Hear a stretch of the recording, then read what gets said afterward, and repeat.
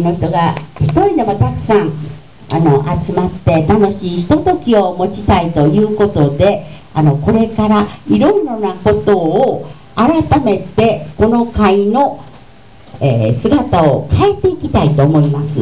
今日はその一つといたしましてお弁当も少し張り込みました。それからここにあのあと後ほどビンゴゲームをいたしますがビンゴゲームも何かビニールに入れてちょんと持って帰るよりもあのちゃんとした包装であのきれいにして持って帰っていただこうと今日はあのみんなで楽しく、えー、やっていきたいと思います。えー、私は本当に主婦でございますので難しいようなことは何も分かりませんでも情熱だけは持ってるつもりですので皆さんのご支援をいただきながらやっていきたいと思います。どうぞよろしくお願いいたします。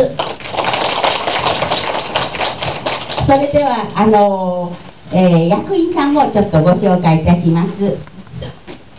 役員さんどうぞもしあの